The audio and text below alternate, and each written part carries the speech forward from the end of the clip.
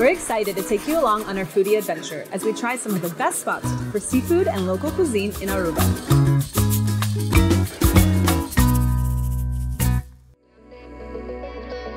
Join us as we give you a glimpse into our island's history, explore Aruba's breathtaking natural beauty, and discover why Aruba is truly a melting pot in the culinary world. And how could we leave out our dreamy and pristine white sandy beaches? Our island adventure. Let's go!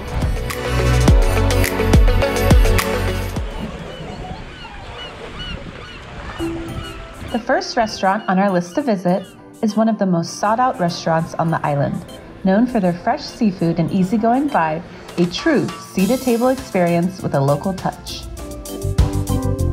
We ordered their fresh catch of the day, which was wahoo, seasoned to perfection, served with a side of shrimp, fries, pan bati, cibollo, and of course a cold beer to wash it all down with. Stayover makes for a perfect pit stop to have lunch during a day of island adventure, or save it for later to catch the breathtaking sunset view. And now we make our way to one of the oldest and most well-known restaurants on the island, Driftwood. Located in downtown Oranjestad, they are without a doubt one of the best when it comes to seafood cuisine in Aruba, as they have their very own fishing charter and serve their fresh catch to guests, making for a meal to remember.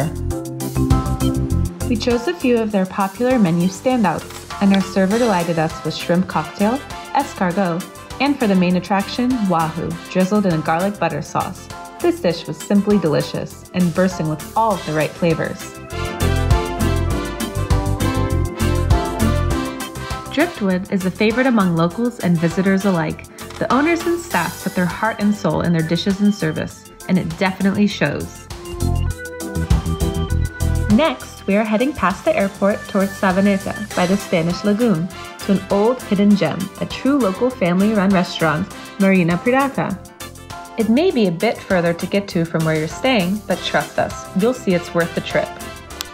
The owners served us some of their most popular dishes fried funchi, conch in a jewel-worthy garlic sauce, and their specialty fresh seafood platter, including fish, lobster, shrimp, and more.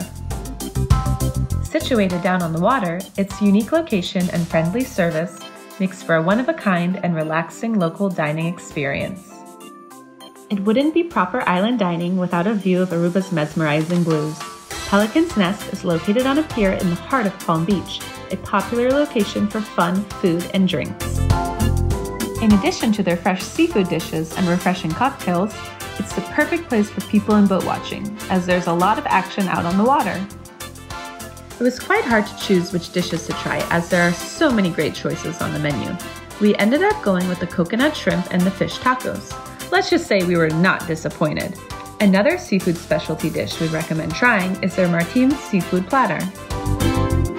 We could have easily ordered another drink and sat on that pier for hours, but we have more dining and reporting to do, so on we go. Alright guys, we've made it to our second to last stop, West Deck, which is located on the water just past Renaissance Marketplace near the downtown area. It's a fun spot full of vibrant Caribbean colors and friendly island charm. We ordered the funchi topped with keshi, which is cheese and papiamento, conch fritters, and the fish and shrimp ceviche. Forget to ask for their specially made pica and cibollo. It's a perfect garnish for any dish you order there. And now for our final stop, located on the world famous Eagle Beach, Elements Restaurant of Bucuti & Tara Beach Resort. Elements is known for their top-notch romantic beach dining and extensive and specialized menus, including fresh seafood, vegan, vegetarian, and gluten-free options, as well as an assortment of local ingredients and produce. We tried their new authentic Aruban and Caribbean buffet. So, as you may have guessed it, we tried a bit of everything. After all, isn't that what buffets are for?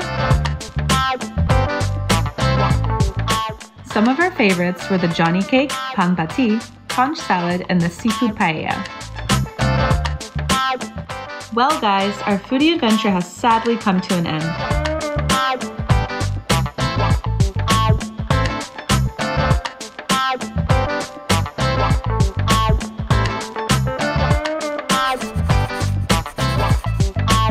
We hope our adventure inspired you to plan your own dining experience in Aruba, and we cannot wait to bring you along on our next foodie adventure.